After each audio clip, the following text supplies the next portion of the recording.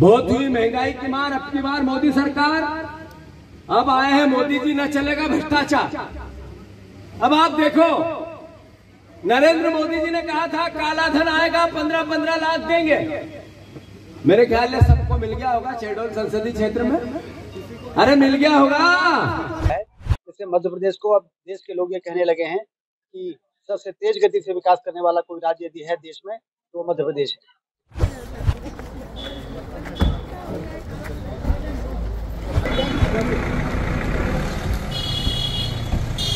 आप देख रहे हैं द खबरदार न्यूज़। ये चैनल नहीं, आपकी आवाज़ है। आवाज़ ऐसी जिसे न कोई दबा सकता है, न झुका सकता है।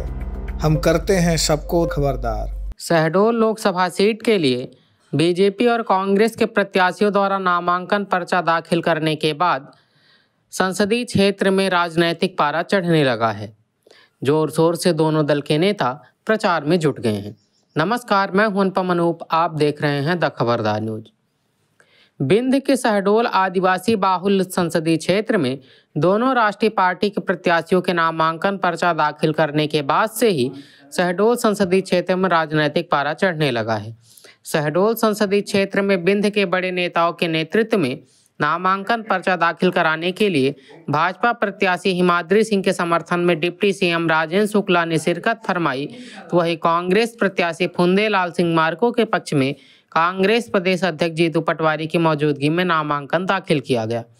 इस दौरान प्रदेश के दोनों बड़े नेताओं ने एक दूसरे के ऊपर आरोप प्रत्यारोप लगाए।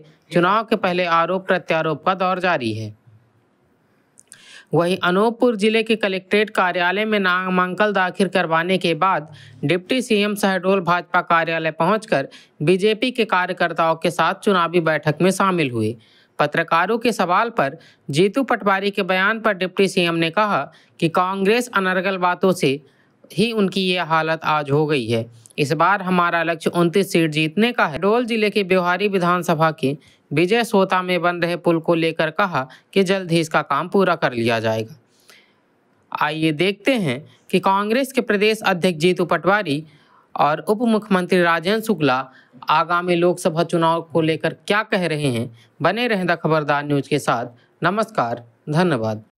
बहुत हुई महँगाई की मार अब की बार मोदी सरकार। अब आए हैं मोदी जी, न चलेगा भ्रष्टाचार। अब आप देखो, नरेंद्र मोदी जी ने कहा था, काला धन आएगा, पंद्रह पंद्रह लाख देंगे। मेरे ख्याल में सबको मिल गया होगा चेडोल संसदीय क्षेत्र में। अरे मिल गया होगा। थोड़ी आवाज़ भी देते रहो। तो मुझे पता चले कि हम सही दिशा में हैं। फिर नरेंद्र मोदी जी ने कहा था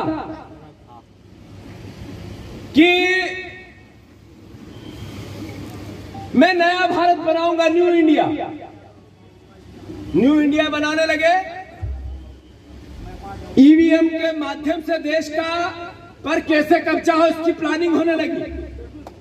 500 विधायक बेचे खरीदे गए। 17 सरकारें गिराई गई। 200 से ज़्यादा सांसदों को दल बदल करवाया गया। और देश की अराजकता की हद दर्जे की हो गई कि एक भी जो मीडिया है जो लोकतंत्र का चौथा स्तंभ है जो विपक्ष को ताकत देता है जो जनता की बात उठाता है।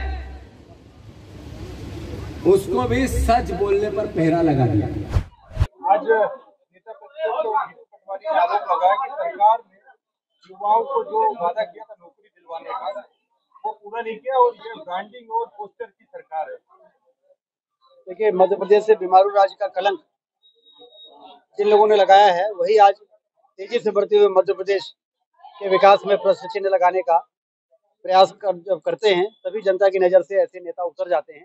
उसी का परिणाम है इस प्रकार के अनर्गल आरोपों का के बाद जब विधानसभा का चुनाव हुआ तो भाजपा की सीटें बढ़ के एक हो गई और इनकी सीटें घट के साठ हो गई। तो इस प्रकार के बयानों से उन्हीं का नुकसान होता है। जनता देख रही है मध्य प्रदेश में किस तरह से सड़क सड़क बिजली पानी स्वास्थ्य और शिक्षा के विकास में औद्योगिक निवेश के क्षेत्र में किस तरीके से ऐतिहासिक काम हुआ है भूतपूर्व काम हुआ है जिससे मध्य प्रदेश को अब देश के लोग ये कहने लगे हैं कि सबसे तेज गति से विकास करने वाला कोई राज्य यदि है देश में तो मध्य प्रदेश है।